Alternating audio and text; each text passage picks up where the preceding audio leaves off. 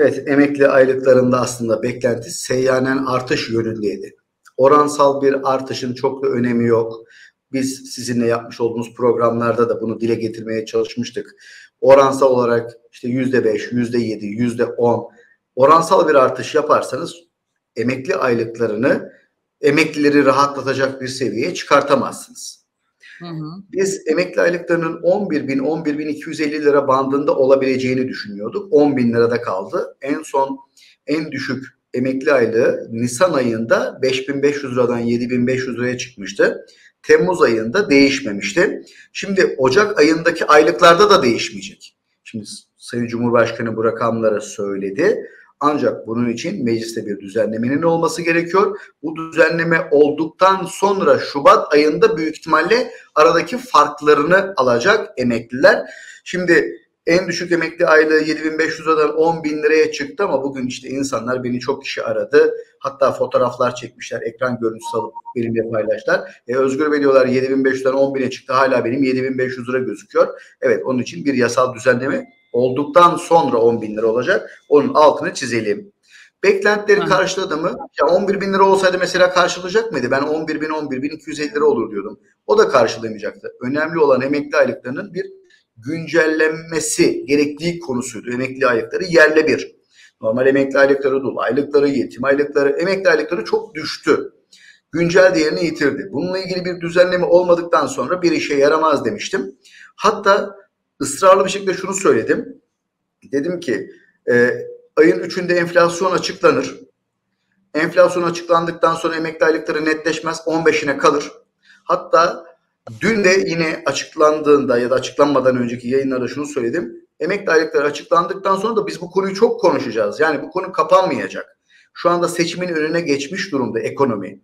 Çalışanlar, asgari ücretliler, emekliler herkes ücretlerden e, alım güçlüğünden, fiyatların artışlarından bahsediyor. İnsanlar ekonomik olarak, bireysel olarak e, zor durumdalar. Bunun için de kendi aylığını kendi arttırma şansı olmayan kişilerin de aylıklarını devlet arttırır. Devletin de ne oranda arttıracağını çok kişi merak ediyordu. Sayın e, Devlet Bahçeli de 8077 lira seyyanen artış yapılmalı konusunu da gündeme getirdiği zaman biraz daha böyle bir heyecan da yaratmıştı. Acaba seyyanen bir artış da yapılır mı gibi. Beklenti bu yöndeydi. Yoksa 11 bin lira olsa da bir şey değişmezdi. Yüzde 5 ek zam verdiler. Onu yüzde 10 olarak verseler de yine bir şey değişmeyecekti. Şu anda beklentiler karşılanmadık. Beklentiyi karşılayacak bir emekli aylığı yok. Dediğimiz gibi güncel değerini yitirdiği için. Yani peki ne olacak? Bundan sonra emekli aylıkları netleşti. Hayırlı olsun. Türkiye Cumhuriyeti Devleti'nin en yetkili ismi Çalışma Bakanı ile, Hazine Maliye Bakanı ile, kurmayları ile görüştü. Aylıkları belirledi. Şimdi seçime kadar ayrıca bir şey olur mu? Olabilir. Bilmiyoruz. Bakın bilmiyoruz olabilir. Yani Mart ayında tam seçim öncesinde bir 2000 lira daha seyyanen artış yapıyoruz diyebilirler de demeyebilirler de onu bilmiyoruz. Biraz, biraz anketlere bakarlar bence. Biraz anketlere evet. bakarlar. Hani eğer baktılar ki Tarzan zorda. Ondan Bu durumda sonra... olabilir. Ya da olmazsa peki ne olacak? Yani bundan sonraki süreç şöyle işleyecek. Şu anki mevcut emekli aylıkları ekranda gösterdiğiniz gibi herkesin aylığı bu oldu. Bakın ele geçen aylıkta değişim oranı var. En sağ tarafta e, yüzde 42.6 oranında artış oldu. Bakın ele geçen paradaki değişim oranı yüzde 33.3. Hmm. Kiminde yüzde 36, kiminde yüzde 38, kiminde yüzde 40, kiminde yüzde 42. E, 7500 lira kök aylığı 4500 lira olan birisinin siz 7500 lira aldığı kök aylığı ya da tamamlanan aylığı hangisine zam yapıldı? 7500 liraya zam yapılmadı ki 4500 liraya zam yapıldı. 4500 lira yüzde 42.6 ile beraber 1917 lira artışla beraber 6417 liraya çıktı. 6417 lira 10 bin liraya tamamlanacak. E zaten bu kişi 7500 lira alıyordu. 7500 lirası 10 bin liraya aslında tamamlandı ama artış 4500 liraya yapıldı. 5000 lira kök aylı olan birisinin artışı aldığı 7500 liraya değil ki 5000 liraya artış yapıldı 2130 lira ve bu kişinin aylığı da 7130 lira oldu. Yine 10 bin liraya tamamlanacak. E bir kişi 7500 lira alıyorsa 7500 lirası 10 bin lira olmuşsa bu kişinin aylığında %42.6'lık bir artış olmaz ki %33.3'lük bir artış olur. Kök aylığı 7500 lira ve üstünde olanlarda gerçek anlamda %42.6'lık %42.57'lik aslında bir artış yapılmış oldu. Şu anda aylıklar bunlar. Ama bu aylıkları bu ay alamayacaklar. Yani şu anda en önemlisi diyorum. Çünkü emekli aylıkları bugün ödendi. Başladı maaşlar ödenmeye emekli aylıkları. SSK'lılar bugün emekli aylığını aldı, yarın alacak. Aylıklarını almaya devam edecekler. Şimdi 7500 lira alan yine 7500 lira alacak Bahar Hanım. Şubat ayında 10 bin lira değil 12.500 lira alacak. Hmm.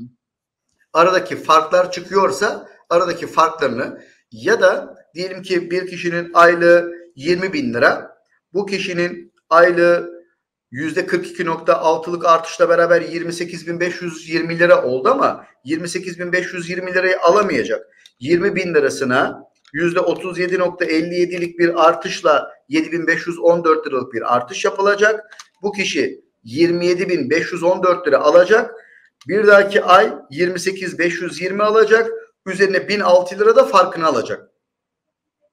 Yani bu söylediğimiz rakamlar artık Sayın Cumhurbaşkanı'nın açıklamasından sonra mecliste yapılacak düzenlemeler sonrasında resmi gazetede yayınlanacak, netleşecek. Öyle hesaplarını. Bu rakamları Şubat ayına kaldı artık. Yani Ocak ayına yetişmedi. Peki ne olacak yani Cumhurbaşkanı emekliler emeklilik yılı dedi. Emekliler yılı mı dedi? Emeklilik yılı mı dedi? Emekliler yılı dedi. Emekliler yılı ne demek? Herkes emekleyecek herhalde bu ekonomide. ya şöyle Türkiye'de emekli aylıkları geçmiş yıllara göre değerini yitirdi.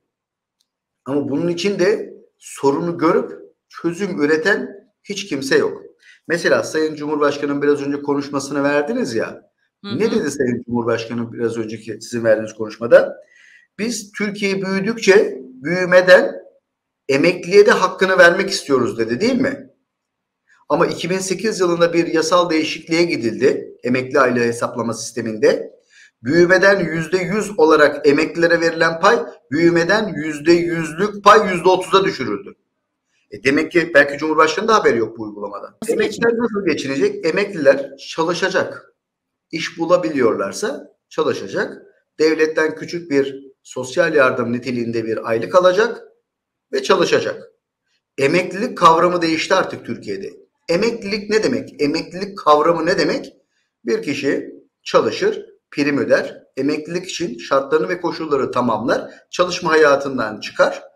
Emekli olduktan sonraki süreçte de devletten alacağı yıllarca ödediği primlerin karşılığında alacağı parayla da zorunlu ihtiyaçlarını karşılayarak hayatını ölene kadar geçindirir. Emekli olmak bu anlama gelir.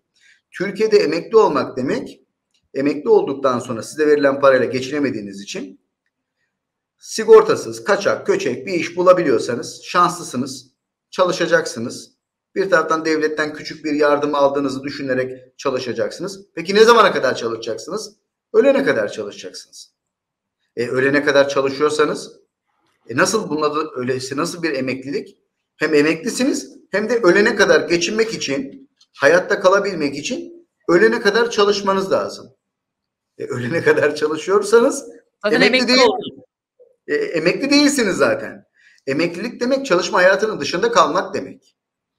Türkiye'de emekli olduktan sonra çok az kişi çalışma hayatının dışında kalır. Emekli olduktan sonra emeklilerin belki yüzde yirmisi çalışma hayatının dışında kalır. Yüzde sekseni çalışmak zorunda. E peki çalışmak zorundaysa, iş arıyorsa, o kişi de çalışacaksa, e çoluk çocuğu nerede iş bulacak herkesin çalışması gerekiyorsa? Öyleyse yani, demek ki herkes çalışacak, nasıl iş çıkacak doğru.